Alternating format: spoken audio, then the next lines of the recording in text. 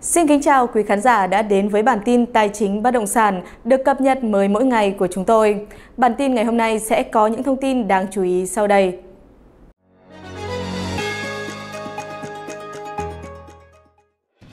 Ủy ban nhân dân tỉnh Lâm Đồng vừa có văn bản gửi các sở và Ủy ban nhân dân huyện Đức Trọng về việc thẩm định giá đất để tính tiền sử dụng đất tại khu đô thị thương mại, du lịch nghỉ dưỡng sinh thái Đại Ninh, khu đô thị Đại Ninh. Dự án do công ty cổ phần đầu tư du lịch Sài Gòn Đại Ninh, công ty Sài Gòn Đại Ninh làm chủ đầu tư, ông Nguyễn Cao Trí làm tổng giám đốc. Ủy ban nhân dân tỉnh giao Sở Tài nguyên và Môi trường chủ trì phối hợp với Sở Tài chính, Sở Xây dựng, Sở Kế hoạch và Đầu tư, Ủy ban nhân dân huyện Đức Trọng và các sở ngành liên quan xem xét đề nghị của công ty. Đồng thời, xem xét diễn biến, quá trình xác định giá trị quyền sử dụng đất tại dự án trong thời gian qua và tình hình hiện nay khi cơ quan điều tra Cục Cảnh sát điều tra tội phạm về tham nhũng kinh tế buôn lậu Bộ Công an đang thu thập hồ sơ, kiểm tra, xác minh một số vấn đề liên quan đến dự án này. Ủy ban nhân dân tỉnh yêu cầu các sở ngành tham mưu đề xuất Ủy ban nhân dân tỉnh trả lời doanh nghiệp trước ngày 30 tháng 7. Trước đó, công ty Sài Gòn Đại Ninh đã có văn bản gửi Ủy ban nhân dân tỉnh Lâm Đồng Hội đồng thẩm định giá đất tỉnh, Sở Tài nguyên và Môi trường, Sở Tài chính, Sở Kế hoạch và Đầu tư tỉnh Lâm Đồng kiến nghị về việc thẩm định giá đất để tính tiền sử dụng đất tại dự án khu đô thị Đại Ninh. Doanh nghiệp cho biết, thời gian qua đã có các buổi làm việc, các văn bản cung cấp thông tin gửi các sở ngành của tỉnh Lâm Đồng nhằm thực hiện công tác xây dựng giá đất tại dự án nói trên để doanh nghiệp sớm thực hiện nghĩa vụ tài chính, nộp tiền sử dụng đất theo quy định.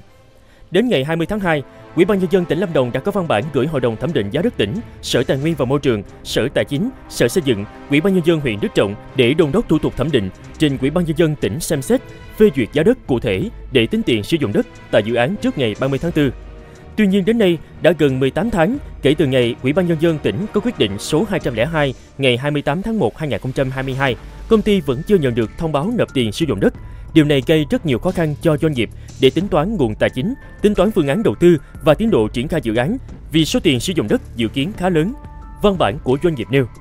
Công ty Sài Gòn Đại Ninh cũng cho biết, trong bối cảnh chung của thị trường hết sức khó khăn như hiện nay, công ty sẽ tập trung nguồn vốn chủ sở hữu theo quy định để thực hiện nghĩa vụ tài chính về nộp tiền sử dụng đất theo thông báo của cơ quan chức năng, đảm bảo quyền sử dụng đất của công ty đối với diện tích đất ở thuộc dự án, đảm bảo hiệu quả đầu tư khu đô thị theo quy hoạch đã được phê duyệt, tránh việc đầu tư dàn trải các hạng mục hạ tầng và thương mại dịch vụ khi chưa có dân cư sinh sống gây lãng phí. Sài Gòn Đại Ninh đề nghị Ủy ban nhân dân tỉnh và các sở sớm hoàn tất thủ tục thẩm định giá đất để tính tiền sử dụng đất tại dự án để doanh nghiệp có cơ sở triển khai phương án đầu tư sớm thực hiện dự án. Khu đô thị Đại Ninh tọa lạc tại 4 xã gồm Phú Hội, Ninh Gia, Tài Hin và Ninh Loan của huyện Đức Trọng, tỉnh Lâm Đồng. Dự án có tổng diện tích đất quy hoạch 3.595 hecta Tổng vốn đầu tư dự kiến trên 25.000 tỷ đồng, tương đương hơn 1 tỷ đô la Mỹ, được chia làm 6 phân khu chức năng. Tiến độ thực hiện từ năm 2010 đến năm 2018. Dự án khi hoàn thành dự kiến có quy mô dân số lưu trú thường xuyên khoảng 20.000 người. Sau 13 năm kể từ khi được cấp giấy chứng nhận đầu tư, dự án khu đô thị Đại Ninh hiện chỉ xây dựng một số hạng mục cơ bản, tháng 6 năm 2020, Thanh tra Chính phủ có kết luận về công tác quản lý, sử dụng đất và đầu tư xây dựng trên địa bàn tỉnh Lâm Đồng. Trong đó có nội dung yêu cầu Ủy ban nhân dân tỉnh Lâm Đồng chấm dứt hoạt động thu hồi đất dự án khu đô thị Đại Ninh. Tháng 7 năm 2022, Thanh tra Chính phủ ra văn bản thông báo sửa đổi một số nội dung trong kết luận thanh tra trước đó, theo hướng rút lại yêu cầu chấm dứt hoạt động thu hồi đất dự án này. Mới đây, Sở Tư pháp tỉnh Lâm Đồng đã có văn bản yêu cầu các văn phòng công chứng trên địa bàn tỉnh không thực hiện việc công chứng các hợp đồng giao dịch liên quan đến quyền sử dụng đất, quyền sở hữu nhà ở và tài sản khác gắn liền với đất của ông Nguyễn Cao Trí. Lý do là bởi ông Trí được xác định có liên quan đến vụ án xảy ra tại công ty Sài Gòn Đại Ninh, chủ đầu tư dự án khu đô thị thương mại, du lịch nghỉ dưỡng sinh thái Đại Ninh đang được Cục Cảnh sát điều tra tội phạm về tham nhũng kinh tế buôn lậu C03, Bộ Công an điều tra.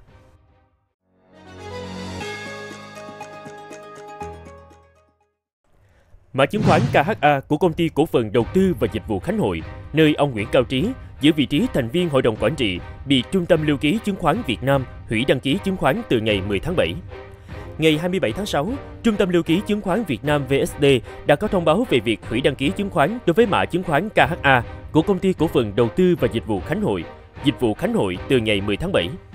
Với hơn 14 triệu cổ phiếu lưu hành, tổng giá trị số cổ phiếu bị hủy đăng ký tính theo mệnh giá khoảng 141 tỷ đồng. Lý do hủy được VSD đưa ra là do công ty dịch vụ Khánh Hội hủy tư cách công ty đại chúng. Trước đó, VSD đã thực hiện chốt danh sách người sở hữu cổ phiếu KHA từ ngày 4 tháng 7 để hủy đăng ký chứng khoán, đồng thời đề nghị các thành viên lưu ký phối hợp với VSD thực hiện các công việc như ngừng cung cấp dịch vụ lưu ký, rút và chuyển quyền sở hữu chứng khoán KHA thông báo cho nhà đầu tư về việc hủy đăng ký. Tháng 6 vừa qua, doanh nghiệp này đã hủy đăng ký giao dịch trên sàn Upcom. Trước khi rời sàn, mã chứng khoán này từng có giá 8.500 đồng một cổ phiếu. Công ty cổ phần đầu tư và dịch vụ Khánh Hội được thành lập vào năm 1982 với tên gọi Công ty cung ứng hàng xuất khẩu quận 4.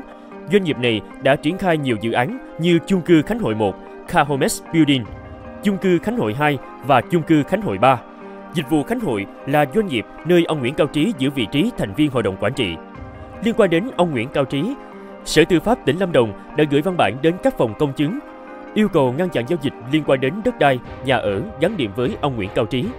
Trước đó, Sở Tư pháp tỉnh Lâm Đồng nhận được văn bản của Cục Cảnh sát điều tra tội phạm về tham nhũng kinh tế buôn lậu Bộ Công an thông báo đang điều tra vụ án theo quyết định khởi tố vụ án hình sự ngày 14 tháng 10 2022 quyết định bổ sung quyết định khởi tố vụ án hình sự ngày 15 tháng 1 2023. Kết quả điều tra xác định ông Nguyễn Cao Trí, trú quận 3 thành phố Hồ Chí Minh có liên quan tới vụ án. Sở Tư pháp tỉnh Lâm Đồng đã đề nghị các phòng công chứng trên địa bàn không công chứng các hợp đồng giao dịch mua bán, chuyển nhượng, tặng cho đối với tài sản là quyền sử dụng đất, quyền sở hữu nhà ở và tài sản khác gắn liền với đất của ông Nguyễn Cao Trí cho tới khi có quyết định của cơ quan thẩm quyền.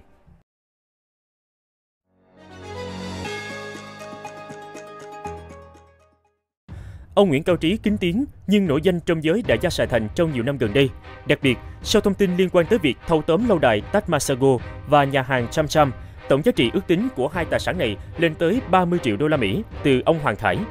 Ông Trí được xem là một đại gia có tiềm lực tài chính khủng, sở hữu hệ sinh thái đa ngành, hoạt động trong các lĩnh vực bất động sản, quán bar, trung tâm hội nghị tiệc cưới, giáo dục, tài chính. Sinh năm 1970, ông Trí từng làm lãnh đạo cấp cao tại một số công ty thành viên của tập đoàn Bến Thành, Bến Thành Group như Bến Thành Tourist và công ty cổ phần địa ốc Bến Thành, Bến Thành Lên. Sau khi Bến Thành Group thoái vốn tại Bến Thành Lên năm 2015, ông Trí đã gây nên thương hiệu Capella Holdings và bắt đầu chuyển trọng tâm kinh doanh sang lĩnh vực ẩm thực giải trí.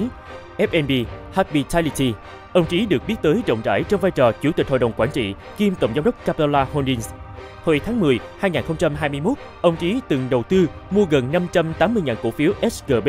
của Ngân hàng Thương mại Cổ phần Sài Gòn Công thương Sài Gòn Banh và tham gia hội đồng quản trị ngân hàng này. Tuy nhiên, vào đầu năm 2023, ông bất ngờ không còn là thành viên hội đồng quản trị Sài Gòn từ 19 tháng 1. Ngoài ra, ông chủ Capella Holdings còn tham gia lĩnh vực bóng đá từ đầu năm 2020 khi làm chủ tịch hội đồng quản trị công ty cổ phần phát triển bóng đá Sài Gòn, chủ quán của Sài Gòn FC.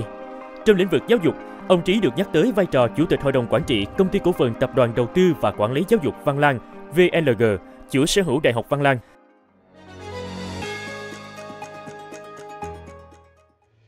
Capella Holdings, kinh doanh chính trong lĩnh vực ẩm thực và giải trí F&B, Hospitality. Hiện đơn vị này sở hữu nhiều thương hiệu nổi tiếng gồm Chill Sky Bar, Trung tâm hội nghị tiệc cưới Glow Gallery, Riverside Palace, Cabela Parkview, Cabela Gallery Hall, Clarice Palace. Trong những năm qua, ngành F&B đã mở ra triển vọng đầy lạc quan cho Cabela Holdings bởi tốc độ tăng trưởng cao, doanh thu và lợi nhuận đều đạt mức ấn tượng. Chỉ trong vài năm gia nhập lĩnh vực này, Cabela Holdings của ông Trí đã sở hữu cả chục thương hiệu F&B và chục điểm kinh doanh với tốc độ bình quân phát triển hai thương hiệu một năm và 3-4 điểm kinh doanh một năm. Với chủ nhà hàng tiệc cưới, quán bar, ông Trí là một trong số các doanh nhân nắm nhiều địa điểm ăn chơi, giải trí rộng lớn và đắc địa tại Sài Gòn. Nhiều thương hiệu được biết đến rộng rãi trên khắp cả nước. Tháng 9, 2009, ông Trí thành lập công ty cổ phần thương mại và dịch vụ thủ đô để khai thác trung tâm hội nghị và tiệc cưới Capital Palace, số 3 Đặng Văn Sâm, quận Phú Nhuận, thành phố Hồ Chí Minh, với quy mô 14.267 m2 sàn, có sức chứa 3.800 bàn tiệc cưới và hội nghị. Vào đầu năm 2011, doanh nhân này tiếp tục khai trương trung tâm hội nghị tiệc cưới Riverside Palace 360D Bến Vân Đồn, quận 4, rộng 10.000 m2 với sức chứa cùng lúc đến 5.000 quan khách. Đây là một trong những trung tâm hội nghị lớn và sang trọng bậc nhất thành phố Hồ Chí Minh. Tháng 12, 2013, trung tâm hội nghị tiệc cưới Claris Palace quận Thủ Đức được khai trương trên khuôn viên đến 7.000 m2. Claris Palace có 6 sảnh yến tiệc, có sức chứa trên 3.000 khách Tiếp đó, tháng 12 2014, ông Trí mở trung tâm hội nghị tiệc cưới Cabela Parkview, số 3 Đặng Văn Sâm, phường 9, quận Phú Nhuận.